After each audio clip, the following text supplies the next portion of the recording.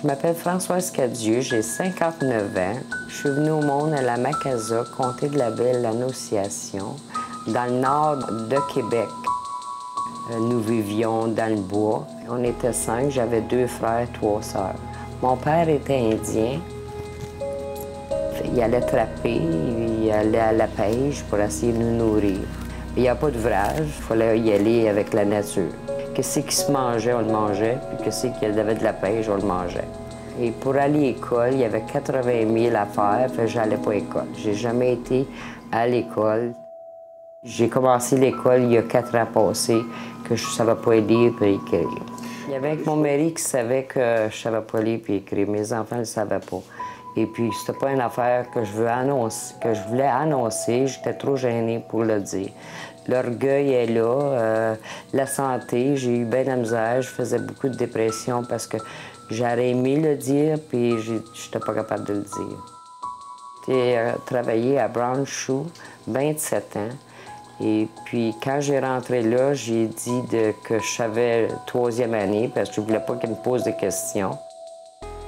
Quand j'allais dans un restaurant ou avec quelqu'un, ou bien quand j'allais changer ma paye, puis après on, se ramassait dans un restaurant, bien, je leur disais souvent que j'oubliais mes lunettes, ou si j'allais chez un docteur pour remplir des papiers, je leur disais que je mettais mes lunettes dans mes poches, puis euh, je les remplissais pas, j'avais pas le temps.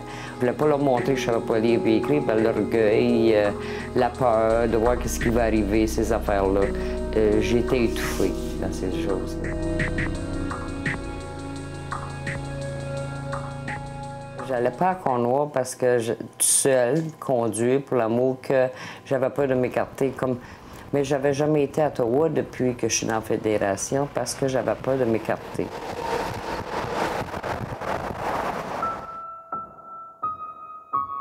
De mes enfants, à moitié du temps, à mes enfants, ils ne me demandaient pas. C'est juste quand ils arrivaient de l'école avec un papier, je leur demandais de lire pour moi. je disais, oh mon Dieu, que tu lis bien, puis des choses comme ça. Fait que ça n'était jamais aperçu. Ça a toujours été euh, caché, caché, caché.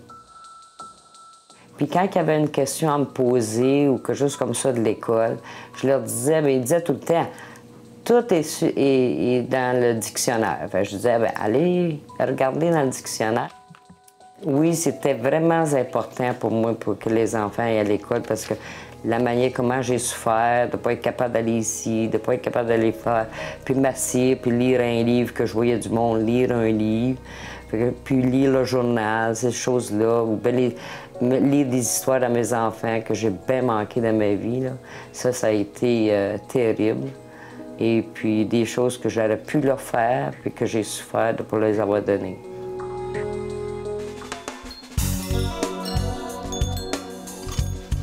Il y a quatre ans passés, mon fils il a, fini le collège et puis il m'avait laissé son, ordinateur. Un jour, mon fils il dit, il dit, Maman, il dit, je t'ai laissé mon ordinateur. Il dit, pourquoi? Il dit, tu m'écris pas. Fait qu'un jour, j'ai dit, oh my God.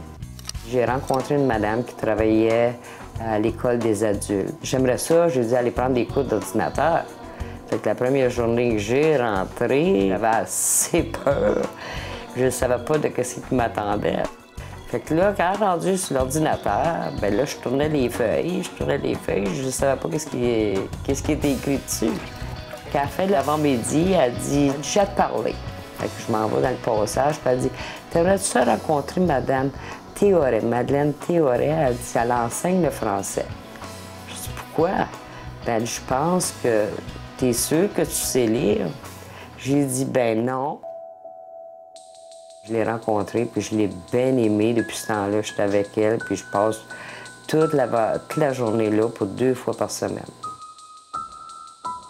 Le verbe, euh, comment écrire, euh, faire tes, tes, euh, tes lettres et puis ces affaires-là. Je voulais tellement apprendre que je pouvais plus arrêter. Je me levais à deux heures dans la puis j'étudiais. Je voulais réussir à apprendre pour tout ce que j'ai jamais appris. Et puis un jour, ma directrice me demande, elle dit, tu viendrais-tu, elle dit, au forum d'Ontario. J'ai dit, pourquoi pas? J'ai dit, moi y aller, je vais voir ce qui se passe. Et puis, euh, ils m'ont nommé de, représenter l'Ontario. Puis là, j'avais toujours du monde en, arrière de moi qui, qui étaient des apprenants, qui ont voté pour moi, puis qui m'ont dit, tu es capable de le faire, j'ai confiance en toi. Aujourd'hui, je peux rencontrer n'importe qui je parle. Je viens juste d'arriver de Nouveau-Brunswick. J'ai été invitée à Miramichi et j'ai fait un bon speech là, qui m'ont dit que j'avais fait un bon speech. Et puis aujourd'hui, je peux voyer n'importe où, j'ai pas peur. J'ai enlevé ma peur et puis j'ai mis mon courage à deux mains et puis je, suis bien contente de moi-même.